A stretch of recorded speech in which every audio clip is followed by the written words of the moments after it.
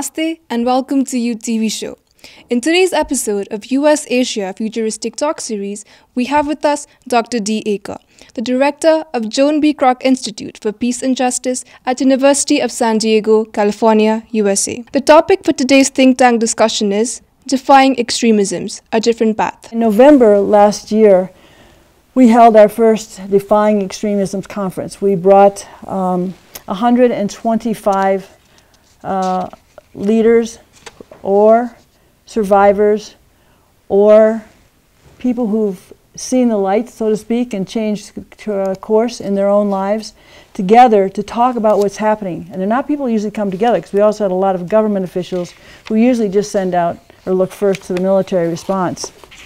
So one of the findings, of course, was that extreme violence was hidden under and associated itself with every major religion in history, tarnishing each one with movements that have espoused violence and hatred rather than uh, tolerance and peace. So after that discussion, it became apparent that we really started to needed to have regional meetings. So one of the things that we did was have our first meeting, regional meeting in Asia, because there is great interest and support and hope for Asia. One of the peacemakers from the Philippines uh, Mary Ann Arnado. She had come to talk to, in, to inspire people to work with uh, some of the military, actually, because she works in her own country with military and, with, uh, and, and, also with combatants. We were working with the Maoists in those days a little bit. And uh, so we brought some of the very women we brought back together for this. Probably in the United States, people are more aware and more reactive to Islam as, as a concern. The reality is that Mary Ann, the person I just talked about, when she was working on the ground, there were originally not only um, Maoists in the Mindanao in the south where she was living and working, but also extreme Christian religious leaders who were organizing groups to go out and kill uh, Muslims. And one of the things that we did both at our conference and uh, back in November and in February in Mindanao is we brought together a chap who's the mayor of a town now, but he was a known terrorist, a Christian terrorist. We brought together former jihadists, uh, and we back in November, and in uh, in Mindanao, we brought together some of the Islamic people from the um, Moro Islamic Front who are now active on the ground, or people they've been with have been active on the ground, but they're stepping back and they're seeing that this violence is not solving, not bringing about what they intended. Extremist movements seek to gain power through instilling fear and utilizing the power of religion. Religions are very powerful. It's very handy if you can say that you're speaking for religion, whether you are or not, whether you have any of the actual information or faith or intention of the religion. Um, the latest attacks by ISIS and Boko Haram are particularly alarming and has been receiving more and more media attention. But there is disagreement on whether they constitute any degree of extremism. In reality, this is associated with religion, but simply this frustration. We need to pay attention to what is the ground that they're coming out of. Women are not immune, of course, to being to participating. There are uh, suicide, women suicide bombers. There are women who get engaged in this process. A gendered human security, non-state-centric approach is pretty much untried, but where it is, it's working, and we need to be engaged in it. And the word secular needs to be um, demystified or demythologized. Because being secular, having secular options for majority people where they can still practice their own religion is the ideal. And it's not either or, it's both. Um, and in order to undermine violent extremism, we have to have strong state institutions. There has to be rule of law. There have to be legal mechanisms. There have to be uh, ways to combat corruption, impunity, provide equal rights to minorities. It has to be there because if we don't have it, if that's not there, it's just too easy for people to build and take away and uh, cause the problems that we're seeing in, in, this temptation. It's really evident from the current rapid growth of extremist movements that the current military and security-based approaches to responding to it don't, doesn't work. I mean, it's not making the change. I mean, it's only increasing. I mean, look at Nigeria, look at various uh, similar places.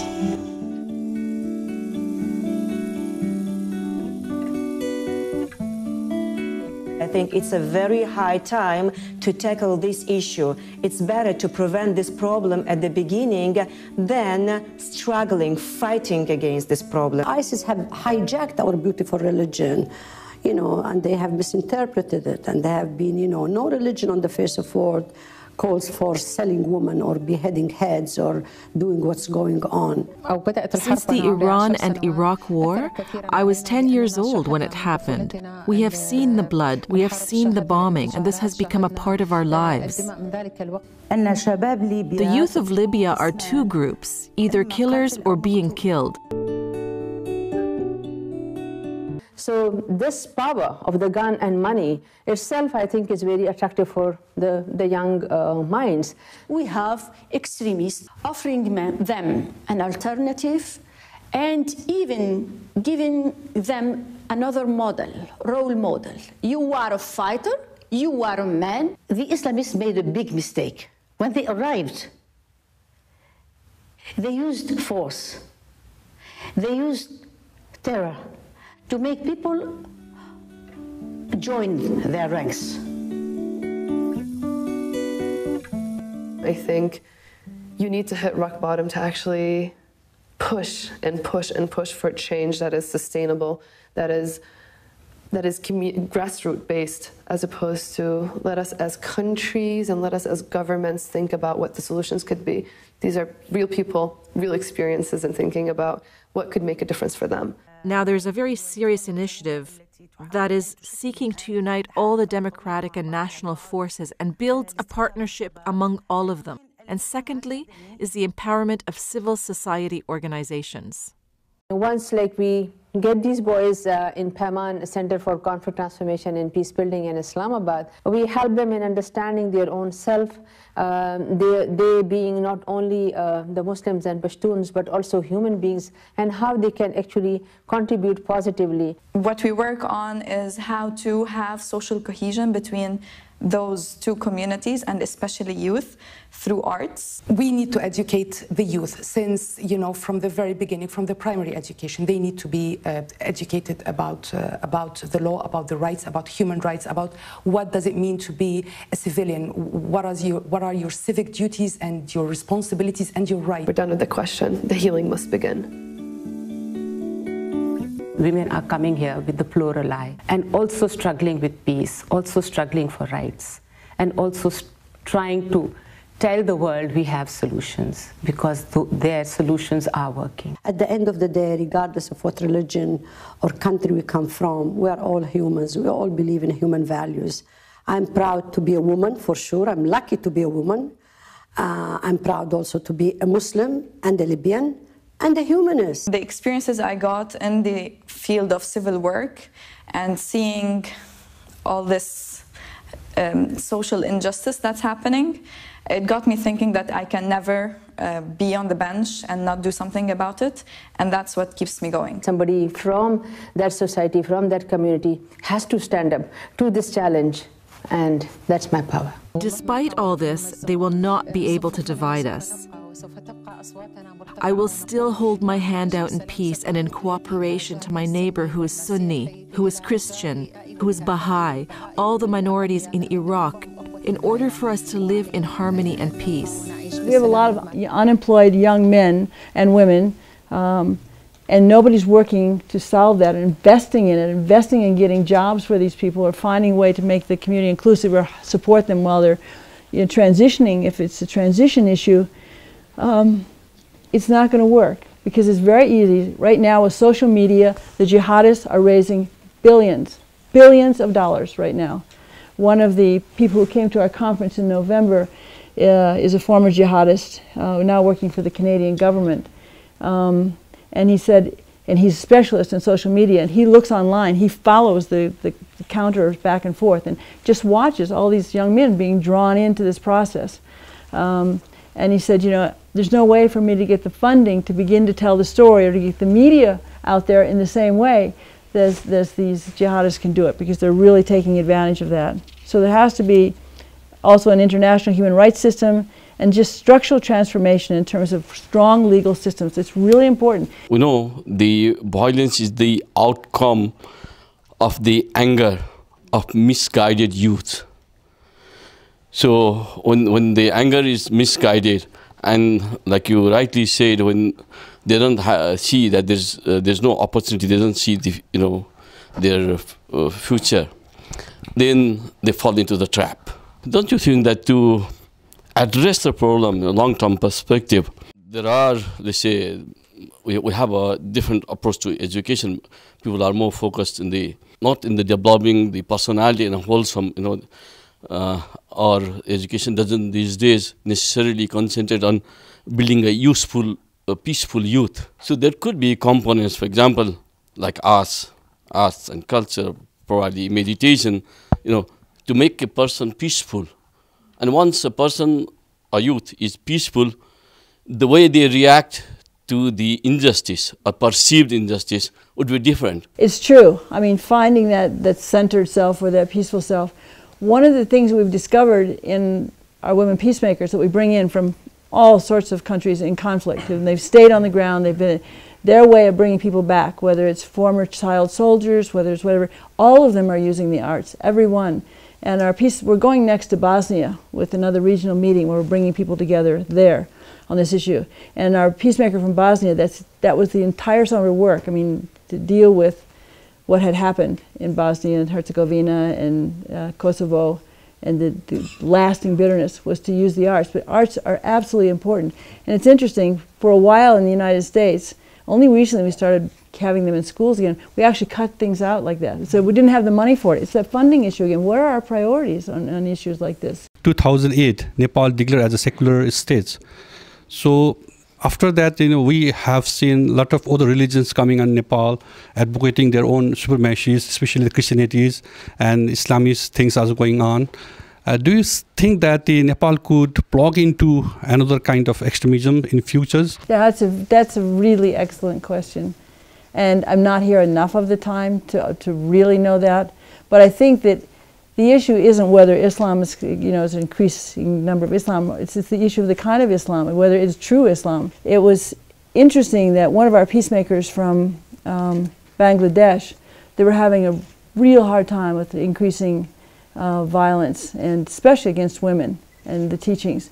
And what they discovered was that the imams there were, that she was dealing with were pretty um, uneducated. They actually could not read the Quran. They could not read at all. So her solution was not to tell them they were wrong. She actually went out and they started teaching imams how to read and it, made a huge difference because it's not the religion, it's, it's the abuse of that religion. It's people who are looking for power. If they're looking to come to Nepal and get power over people, then I'd pay attention. It's not going to just be Islamic people, it's going to be a lot of different people take advantage. The conversion in Nepal uh, with Christian missionaries has been happening since last uh, 30 years. So once the country went secular, uh, a lot of countries in the West, they've been very vocal about it and the funds have gone high and uh, the number of visitors have, have been also increased. And during the Madhes Andolan too, uh, there were huge funding from the Gulf from the Arab into Tarai for establishing madrasas. So the number went from 4,000 madrasas all over uh, uh, Tarai to 14,000 to 15,000 just in one year. Um, now, it's very interesting to look at how the Indian government has uh, has its own connection to Nepal because that was the time when uh, the Indian Congress were in power and the BJP was in a struggle. So it was a very new condition for Nepal, uh, especially after a civil war was over.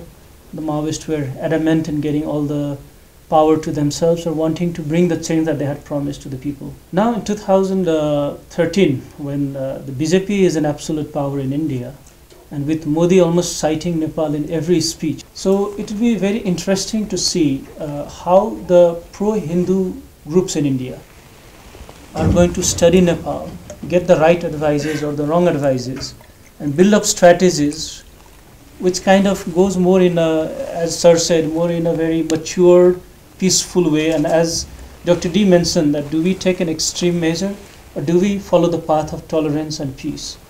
and uh, find out a way where every religion gets its space. Uh, because obviously, uh, Nepal is a tolerant country. Uh, we have allowed uh, conversion. We have not uh, dejected or rejected people who have converted. In every villages now, there are converts, whether into Christianity or into Islam, from the Hindus because of uh, certain classes being barred from going into temples despite that they were born a Hindu. So it's it's a Mm. very interesting time. Nobody has an answer to that yet, but it's it's going to be very interesting to see that uh, the people in India who support or the people who run the pro-Hindu groups, uh, get, get, getting uh, having the tie-ups in Nepal, what kind of people they associated, what what kind of schooling they have gone through, what kind of fundings they're looking at, and I re- really liked what Dr. Dee said is is the connection of extremism to politics and economy. Now that is something very new for me also. So how that's going to connect, like if if the business leaders in Nepal are going to take a look at that in terms of connecting into Indian business hubs and making money legally or illegally, but taking religion extremism as a base to that, or some groups in Nepal thinking that, that this is their opportunity to get back into power. The good thing is, so far, the people of Nepal have shown a very uh, tolerant, peaceful approach to it. I'm so happy with this video because this is where it begins small pockets of leaders that dare to take risk and get a momentum and get a new majority. Because what I'm afraid of is a new majority of the bad guys. The new majority of the bad guys I'm really scared of because they have the social media, they have massive fundraising, they appeal, it's sexy, it's masculinity, it, it is all that we are not. We are boring. Even as the UN, we're boring. There's little excitement. So, where is that exciting leadership that takes risks gonna come from that will become the new majority? Where did we, as an intellect population that we are, where did we go wrong? Like recently, we just saw the attack in Sydney, right? Uh, I think it was one of the first kind of its in Australia to ever happen, and it was attached to a jihadist group, but whereas it was not, the person was actually he was mentally unstable, and then uh, then again a hashtag came up saying "I'll ride with you." It was a very famous hashtag that actually brought up a lot of citizens itself in Australia to actually not believe that it's associated with religion. And is it because we, people like us, people like us, intelligent population, that we retaliated with so much force that we went wrong? The groups like the ISIS, the LTTE, the Tamil Tigers, that uh, even Boko Haram, that they just came out to even a greater extent. Should we have just turned a blind eye to them so that they just come up and settle down like that? Did we, as human intellect population, did we actually bring up the issues to such an extreme height? No, I don't think it's a matter of going wrong. I think it's a matter of isolation. And um, it's just too easy, in spite of all the television, of all things, to close down, to shut out what, what's going on. Um, as I said, the issue for young people, the reason they get tempted to these things, we, one of the people we had in November was the mother of the Bristol bomber. She had no idea her son was capable of anything like that. She's a good woman. She's she's and she could be devastated, but she's interesting. And this is what I think we have to spark in other people. She's now going out and working with other mothers around the world and telling them what to look for, what to sense, and, how they, and the way they have to respond to these kids. Because young people always look around the world for something exciting. It's either boring, or they're poor, or there are no jobs, or they just don't have the right education to begin with. How can it be uh, possible to smell the potential violence and prevent it? I didn't know the full form of SLR. That was I, I just explored right now and uh, self-loading rifle. And few years ba- uh, back, I was holding that, and uh, now I I bought it, and this is DSLR. so this is a kind of brokering piece, I think, and uh, I was transformed into a kind of squad uh, member to a media man. So let us smell the potential violence before it is too late. When there is a potential violence and the people who perceive it, uh, as I mentioned earlier, instead of trying to force out a peaceful solution or a humanitarian approach, they look at money. During the civil war in Nepal, there were certain budgets that were created uh, which benefited a small pocket group of people in Nepal with some foreign consultants. And I think it's a, it's a global thing. Uh, where, wherever there is a potential for vi- violence, uh, there's always one pocket of people who pockets a lot of money without doing any work. They have to buy uh, useless mercenaries or, or dead bombs from one country and ship it to another. It's just a couple of meetings in big locations and that's it. And, uh, and, and no part in the world is free from that. Unfortunately, they have the money, they have the will, they have the knowledge to act fast. And uh, so recently, it's very interesting to see how the US and Iran deal on the nuclear disarmament or, Hmm. nuclear deal, deal carries on. And there's a lot of uh, speculation in the US that Iran is going to play games, and the same thing in Iran is that the US is going to back out of its commitments. But let's see, I think it's a, it's a huge breakthrough in, in, the, in the global politics or peace. And uh, so there are leaders. I'm, I'm sure the engineers behind that deal are not seen public yet. And they must be very strong minded uh, uh, intellectuals who must have forced that through. So let's see if, uh, if a couple of Asian countries are going to have those brains act fast and, uh, and see how common people can benefit out of these uh, peaceful approaches rather than few people who does not actually belong to any country, any religion. For them, it's just money at the cost of somebody's blood, at the cost of somebody's violence, at the cost of a country's failure. And uh, unfortunately, like uh, the extremists are funded, these guys are always in business. If not this country or that countries. How to keep away the new generation from the revenge or violence or hate or retaliation or attack, bias. Some of our colleagues at the University of San Diego and many people right now are looking at two concepts that are really important. One is resilience and the other is reconciliation. And in, from people who've been caught in, you know, or their parents have been caught, or they're the first generation after conflict. How do we bring them back in instead of just go figure out your own way? Because we have to find some way to reconcile. There is no fresh generation, unfortunately. There is no one who comes without parents, without friends, without associates, without a history, without a religion that's taught to them.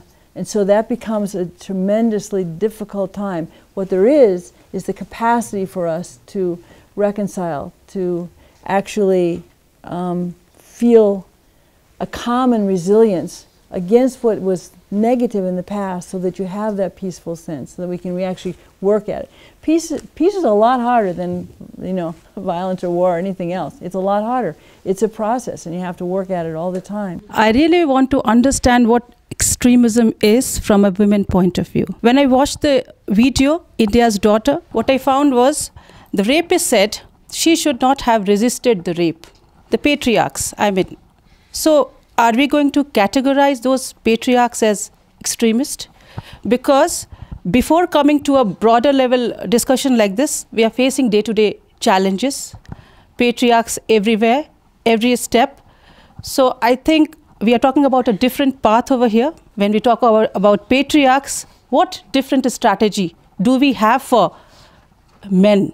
I mean, because we're talking about power also and power and patriarchy go together, goes together. So my question is very simple. Please make me understand what extremism is all about. When we listen to the government of India or the politicians, they they talk about how much the, the common lives is affected by the terrorists from Kashmir or even from Pakistan. But that is also a country where, from a women perspective, they are mostly terrorized by their own relatives. Yeah, exactly. For them, Mujahideen and Al Qaeda are not a bigger threat than their own father, husband, brother, parents in law, father in law, and uh, their daily life from the kitchen even to walking out to a grocery store. The brothers who want to protect them are the same guys who are creating the odd situation for their friends or relatives from other women from even walking on the street. Extremism is those other things. Patriarchy, as it's been practiced for so long in so many situations, if we use the term, is extremist. I mean, it's not related to religion. It's a word that stands, it means that it's costly the way we use it. I mean, that's not what, always what it means, but it's very costly to human beings. Um, so two parts to that. I mean, if, if- for those of you who don't know, India's Daughter is in a new film that came out. I just met with the director about three weeks ago to talk about this. She's scared to death. I mean, you know, they, they banned it in India the day it was supposed to come out, so that one of the television stations just went black. But the same night it was supposed to show there was the night I, I saw it in New York. And um, she talked about how difficult it was and how frightened she got and how extreme the situation became about around her. So she was using the term that way. She uh, called just before she finished the film. She called her own home and she talked to her daughter, who's uh, 13 years old, and said, "I'm coming home. I'm too frightened now. There are too many threats. I can't do this." And her daughter said, "You have to stay there, mommy, because if you don't, my whole future will be affected by the things that you're trying to talk about right now." And so she stayed and finished you know the film and it's an amazing film and it does show that and it does show that kind of again this is this is isolation that causes it people can believe men uh, or women can have certain beliefs if they're isolated from people who can express another possibility. In the United States, there are a lot of men's groups now. I mean, we're even seeing on football players and people, you know, that uh, talking about no more rape in the house, and they're actually kicking people off teams if they're doing it. If they're not, it's no longer easy. You don't just get to do it because you're a boy. You know, that's not the possibility. I'll just uh, end the session with one last question to Dr. Ilty because I didn't, I realized I didn't ask you any question. uh, no. America has a huge impact on the world.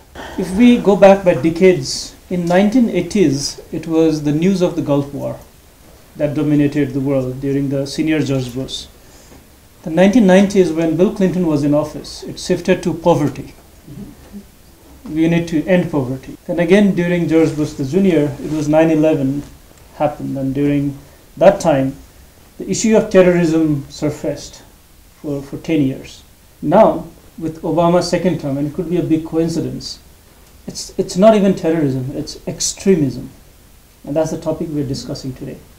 So, every 10 years, the US moves without solving a single one. Yeah. so, how, how do you look at extremism uh, from the US perspective and having its impact on the world and seeing if this is a problem that can be solved?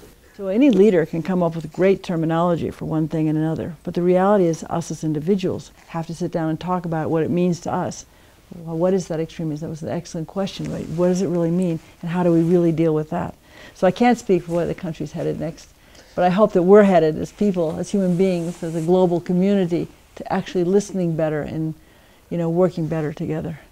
I believe this discussion was enlightening to you. We will be organizing US Asia Futuristic Talk series with new topics regularly. You can follow us at facebook.com slash today's youth Asia. Thank you for watching. Namaste.